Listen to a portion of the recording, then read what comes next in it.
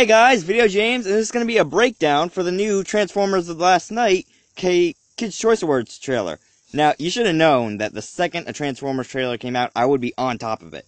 That as soon as I got a chance to record it, I would get straight on Smart Pixel, turn it on, find the, the trailer, break it down, or react to it, and record it. Because I'm basically hyped for this movie at this point, that I just want to see this happen. And I've already seen this trailer. I actually saw it last night a couple of times. And this is basically going to be a breakdown, not a reaction, because I already know what's going to happen. But I think just for like kind of full information gathering, kind of watch the whole video. So I'm just going to click play and push this up.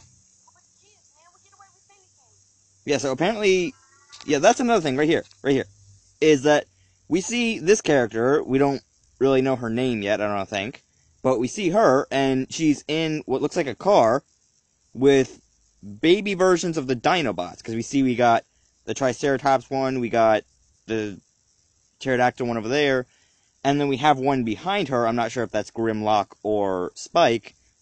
But either way, she's surrounded by Dinobots, so this might have been before Lockdown came to Earth for the first time, which actually makes sense because if Lockdown did come to Earth, logic stands to reason that it would have been for the Dinobots because a lot one of the main theories from this scene is that Lockdown came to Earth looking for the Dinobots. She knew where they were. She had to run so that Lockdown didn't get her too. And then because of the Dinobots being on Earth, she got involved in the whole thing, and that was when Lockdown came to Earth, got the Dinobots, and struck the deal with KSI. And then we see the big robot here, who actually's got the whole thing on his back. And now we actually have his name, Canopy.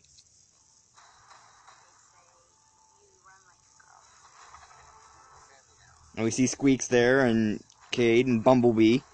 We all know Bee's to be the new Prime. And there's Squeeks again. And then we see Galvatron comes back in knight mode and we see he's got basically an army behind him. So one of the theories behind that is that Galvatron went to a piece of the knight ship because we already know that there's Cybertronian stuff scattered about the planet. So one of the theories is that when Galvatron is coming up out of that lake, he just got off of a part of the knight ship and he basically found a bunch of bots that were knights, and he's recruited them to help him fight the Autobots. And then we see Cade basically blowing them up, and Hound again with his new symbols and the new paint job. And then we see the Bee versus Optimus just slugging it out. This is my favorite part. And the theory behind the whole junkyard thing is that we know in Transformers 4, the Yeager's house got destroyed. So, it's probably guessed that Tessa and um, Shane aren't going to be in this movie. But there's a theory that because the Yeager's house was destroyed, Cade had, um, what was his name? I can't remember. The guy who ran KSI, buy him a junkyard so he could only, not only have a place for the Autobots to hide, but at the same time have a place that he could do his stuff, that he could make all his inventions and all that. But anyway, that was basically the trailer, and that's a small bit more information that we got about the movie. It's not too much more, but it is enough to kind of fill in the gaps where we didn't see. But this is going to end up being probably a better movie than 4. I'm not going to say it's going to be one of the best, because in my opinion, that's always going to be 1.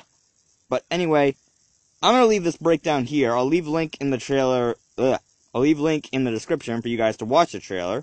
And if you like this video, you can hit the like button as always, and I will see you guys later.